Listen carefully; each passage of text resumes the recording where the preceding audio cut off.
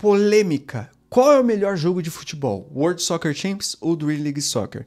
Eu vou tentar responder essa pergunta nesse vídeo e eu só quero deixar algumas coisas claras. Primeiramente, essa é a minha opinião e, portanto, eu posso não estar certo, né? Na verdade, assim, é minha opinião, é meu gosto.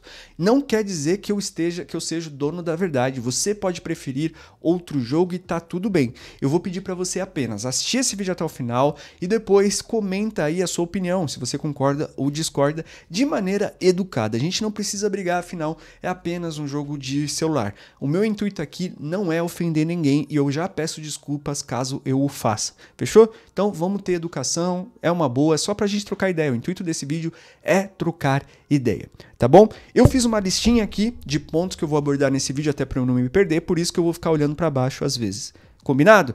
Dito isso, vamos pro vídeo, molecada. Primeira coisa que a gente tem que entender. Apesar de ser dois jogos do mesmo gênero, que é futebol, são jogos de categorias diferentes. Enquanto o DLS é um jogo de fute... é mais focado em você montar elencos para jogar o jogo e competir, porque também ele tem online, o World Soccer Champs é mais focado em manager, ou seja, ele é mais focado em você, de fato, montar elencos e também ele é mais focado no modo carreira. Por quê? No World Soccer Champs você pode mudar de país, mudar de time, tá ligado? Existe um foco maior na carreira, enquanto o DLS o foco dele é jogabilidade, né? São categorias diferentes. Até o FIFA e o FM, por exemplo, são jogos de categorias diferentes. O FM é um jogo puramente manager. O, o DLS World Soccer Champs também são jogos de categorias diferentes. E por serem jogos de categorias diferentes, é difícil de comparar. Para mim, só para vocês terem noção, é como se a gente comparasse o goleiro com o atacante. Pô, os dois jogam futebol, porém são funções completamente diferentes. Mas ainda assim, na vida real, existe uma comparação entre os dois, né? Afinal, a bola de ouro inclui os goleiros também. Um goleiro pode é, ser, ganhar a bola de ouro, mas claro que é muito mais difícil, né? Mas para vocês entenderem que, apesar de ser é, categorias diferentes, dá para comparar, mas vai muito de gosto. Se você não gosta de jogo manager, você não vai gostar de World Soccer Games. Se você não gosta de ficar jogando jogo com, com o jogador, você não vai gostar de DLS. Então, isso depende do gosto de cada um. Tá? Então, por isso que eu vou falar que é difícil de comparar, mas ao mesmo tempo a gente vai tentar fazer isso. Segundo, agora, molecada, como eu já vou falar minha opinião, tá? Eu vou falar minha opinião para vocês. Eu prefiro o World Soccer Champs, mas eu, eu, eu entendo porque o DLS é tão querido e afinal, nenhum jogo fica tão popular se ele não tivesse vantagens, qualidades. E é justamente sobre isso que eu vou falar agora, sobre as qualidades do DLS. Ó, primeiro ponto que eu coloquei aqui fotos e, fo e, faces realistas. E quando eu falo faces realistas, coloquem entre aspas, tá?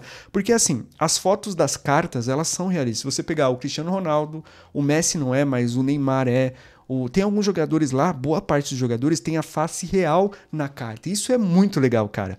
E dentro do jogo eles tentam, claro, de, de, é, guardadas as proporções, né? Porque o jogo não tem gráficos incríveis, mas eles tentam caracterizar o jogador o mais próximo da realidade possível. E isso é muito legal. Eu acho que é uma grande vantagem. E quando você abre o jogo pela primeira vez, é uma coisa que te chama atenção.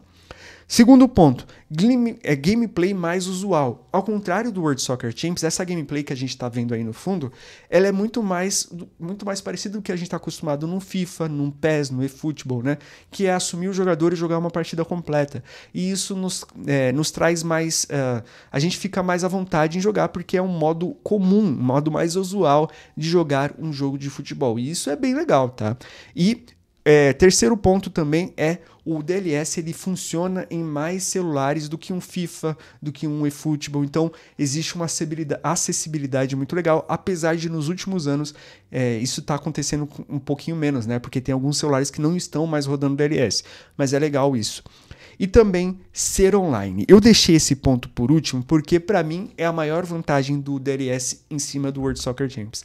O fato do jogo ser online é muito mais legal e torna muito mais competitivo e dá muito mais vontade de montar um elenco para jogar contra outras pessoas. Eu costumo dizer que todos os jogos de esporte chega uma hora que cansa, seja de F Fórmula 1, tênis, basquete, futebol, cansa se você ficar jogando no offline. Por quê? Porque a inteligência artificial do jogo, ele, ela não é inteligente o suficiente. E com o tempo você aprende a jogar contra ele aprende os macetes e começa a ficar invencível.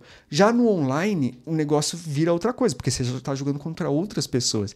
E sempre tem alguém melhor que a gente. Cara, se você se acha muito bom em alguma coisa, sempre existe alguém no mundo melhor que você. E isso que é o legal, porque você busca uma evolução sempre, busca evoluir o seu time e a sua gameplay para enfrentar outras pessoas. Por isso, essa, na minha opinião, o fato do DLS ser online é a principal vantagem sobre o World Soccer Champs. E o fato dele ser online também, na questão, tipo assim, você não consegue jogar ele offline, você precisa estar online, também é uma vantagem. Por quê? Hoje você não vê mais vídeos ensinando pirataria ou mods no DLS. Por quê?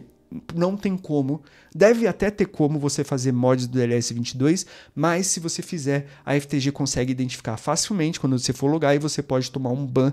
Por isso que não existe vídeos aí no YouTube ensinando a mods. E se existir esse, ah, DLS22 com brasileirão, eles pegam 19, atualiza lá, pá, mas na verdade, em essência, é o 19 com uma skinzinha por cima, não é o DLS23. Então, isso é muito bom, até para mim, criador de conteúdo, porque quando você fica vendo um monte de mod é, numa comunidade de youtubers, é, isso atrapalha os youtubers a criar conteúdo, porque esse tipo de conteúdo empesteia o YouTube e acaba atrapalhando o nosso trabalho, tá? Então, isso é muito legal, o modo de ser online, o, fato de ser online. Agora, sobre o World Soccer Champs, é, eu, eu prefiro o World Soccer Champs, mas o fato de eu preferir passa pelo terceiro ponto que eu quero abordar aqui. Vamos comparar as empresas. A FTG, criadora do DLS, e a Monkey, que é criadora do World Soccer Champs. Vamos comparar. Aí, molecada, a coisa fica feia pro, DL, pro DLS, tá? Porque a verdade pura e simples é que a FTG não tá nem aí pra gente. Essa que é a verdade, tá? Vamos lá. Desde que o DLS, o DLS 20 chegou, que passou a ser online, teve pouquíssimas mudanças. Como eu falei, eu abordo o jogo desde o DLS 19, mas eu jogo desde 2015.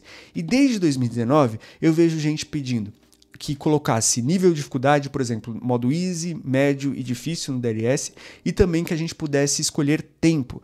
5 minutos, uma partida de 5 minutos, 10 ou 15, que nem é no FIFA, faz no mínimo uns 4 anos que isso é pedido. E não é trazido. Aí eu te pergunto, como pode quatro anos as pessoas pedindo uma alteração, todo mundo pede isso no DLS e a empresa não coloca. Isso é uma vergonha, mano. Isso é uma vergonha. O que significa que a FTG ela só está ligando para ela mesma.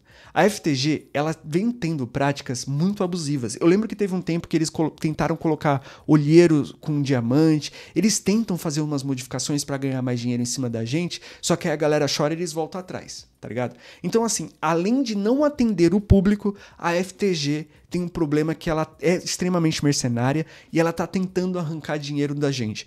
O, o, o sistema de desenvolvimento, de evolução dos jogadores piorou muito, isso é inegável, tá ligado? É, o jogo não muda nada, ele não traz coisas, ou seja, a FTG não ouve os seus inscritos, os seus players, e pior de tudo, tenta atrapalhar os, os players, né? Porque eles ficam botando mecânicas para ganhar mais dinheiro e tal, e acaba atrapalhando a gente. Então, nesse quesito, a FTG perde e feio. Para você ter noção, o World Soccer Champs, eu fiz um levantamento no ano passado, que é de 2022, em 15 meses, o World Soccer Champs, em, perdão, em 12 meses, o World Soccer Champs teve 15 atualizações. 12 meses. O DLS em, tem atualização a cada, 13 me a cada 3 meses e é correção de bug. World Soccer Champs, eu vou, vou mostrar, falar para vocês, ó. Atualizações que o público pediu e o World Soccer Champs já trouxe. Inclusão de seleção, alteração de número de uniforme, escolher uniforme, é, Supercopa do Brasil, campeonatos estaduais, mano, é barba nos jogadores, chuva, neve, tudo isso foram pedidos da comunidade e eu tô falando por cima só do que eu lembro. Pedidos que a comunidade fez e o World Soccer Champs atendeu. Além disso, o World Soccer Champs tem Reddit, Facebook, Instagram, tem uh, Discord e também tem e-mail.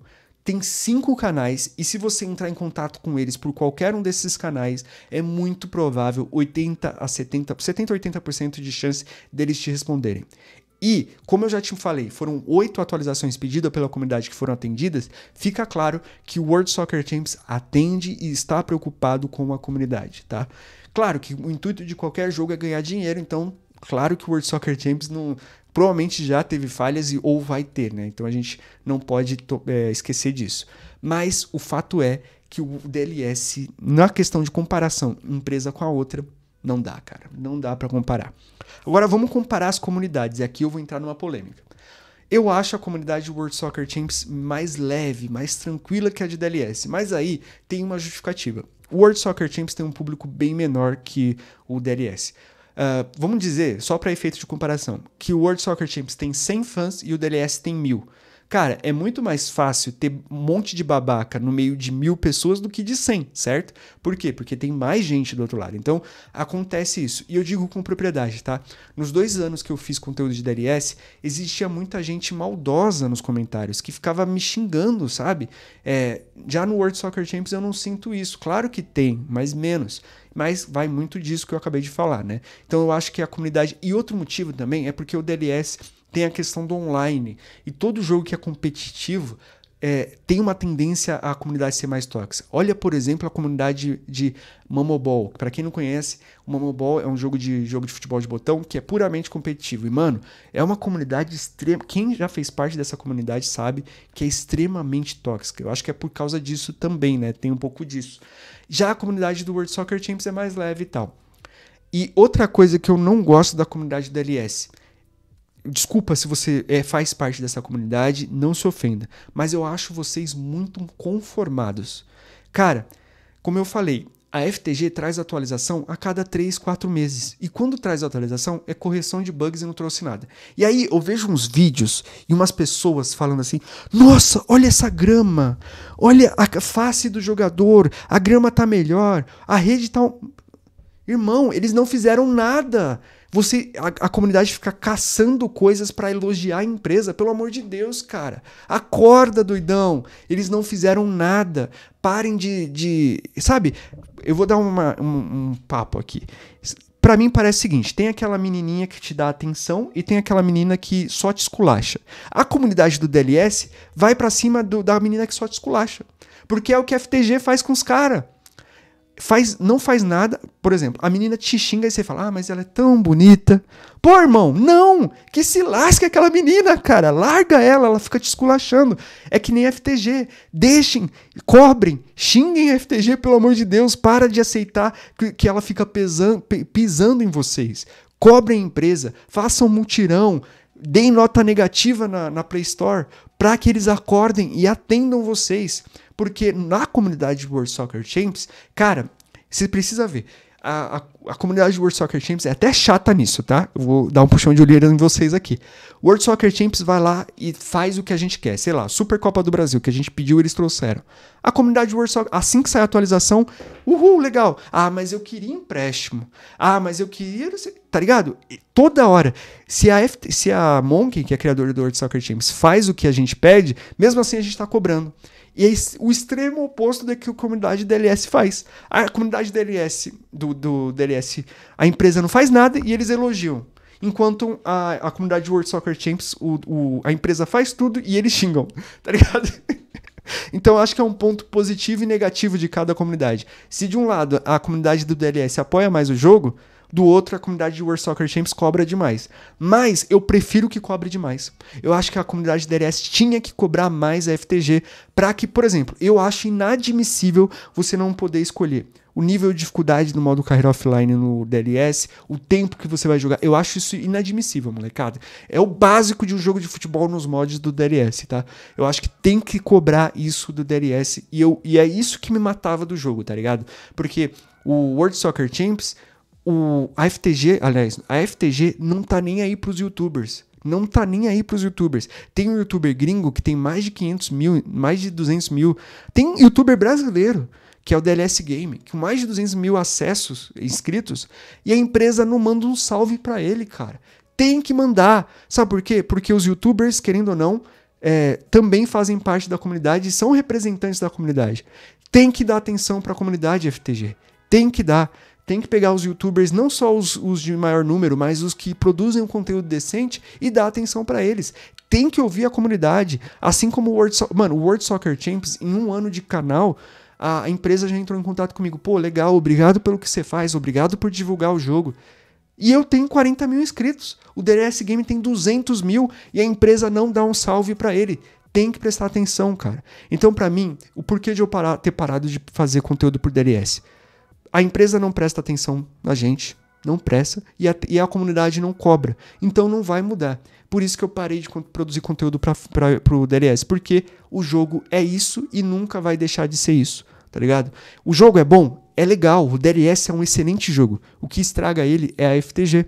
E o World Soccer Champions, ele tem muitas falhas em questão de gameplay, é um jogo muito cru, porém, ele, eu em dois anos, se você comparar o, DL, o World Soccer Champions dois anos atrás com agora, ele evoluiu demais. Por quê? Porque ele ouve a comunidade, porque ele presta atenção, e, e a, a, perspectiva de futuro por World Soccer Champions eu acho muito promissora. Do DLS eu acho que é isso, estagnado. E, o, e sabe que me, por que me deixa mais chateado com o DLS? Porque ele tinha potencial de, no celular, por exemplo, ele ser melhor que o, que o FIFA e o eFootball. Ele tinha o potencial de dominar o, o, futebol do celular. O DLS em si, o jogo em si, é melhor que o World Soccer Champions, mas os, os, a empresa estraga a experiência, entendeu? O DLS, se, ó, pensa comigo, se o DLS atendesse a comunidade, ele ia ser o melhor jogo de celular, ele poderia, se ele fosse o melhor jogo de celular, ele ia ganhar muita grana, porque celular dá muito dinheiro, e ele poderia almejar lançar uma versão para console e bater de frente com o FIFA e com o eFootball e ser uma empresa gigantesca. Mas não, eles preferem ser a melhor maneira de ganhar dinheiro em cima de um jogo é atendendo a comunidade. Vê o Fortnite, por exemplo, aí. Vê o Roblox, por exemplo, aí. Que são, sabe? Então, que são jogos que prestam atenção na comunidade. Então, assim, é impressionante, tá? É, por isso, a única, o único porquê de eu achar que o World Soccer Champions é melhor que o DLS, apesar de ser difícil de comparar, é isso, molecada. O Word, a empresa presta atenção nas pessoas. E quando a empresa presta atenção no seu o maior, o maior, é, o maior valor de um canal no YouTube, de uma empresa que presta serviços para que o jogo que ainda não prestar serviço, é o seu público. Imagina se eu fizesse vídeo que só eu gosto. Ah, que só eu gosto. Ninguém gosta. Meu canal vai crescer? Não. Eu tenho que ouvir o que a comunidade está dizendo sobre o meu canal, as críticas positivas e negativas e tentar melhorar o meu conteúdo. E é isso que eu tento fazer aqui no canal. E é isso que a FTG peca e muito. E é por isso que eu prefiro o World Soccer Champions. O jogo em si, DLS é melhor, mas eu acho que eu já deixei claro o porquê de eu achar que o World Soccer Champions é melhor. E você aí que é fã de DLS e não conhece o World Soccer Champions, vem, vem, se inscreve no canal, dá uma olhada. Eu vou deixar agora numa playlist de um vídeo de modo carreira só, para você sentir o quão divertido é. Eu sei que se você olhar o gráfico você não acha legal, mas não se deixe iludir por gráficos, tá? Afinal, o, o DLS em si não tem gráficos tão bons, então, tá? Porque o FIFA e o, e o eFootball tem gráficos muito melhores. E você já diver, se diverte muito. Então deixa o gráfico um pouquinho de lado e presta atenção na gameplay e presta atenção na comunidade para você ver que você vai se divertir demais. Então vou fazer o seguinte, ó, vou deixar um vídeo aqui para você com um card de todos os modos carreira que eu já fiz hoje. É uma playlist com mais de 100 vídeos para você ir lá e assistir. Eu espero que vocês tenham gostado e por favor, usem a seção de comentários para dizer se vocês concordam ou discordam de mim. É isso. Tamo junto, valeu. Falou.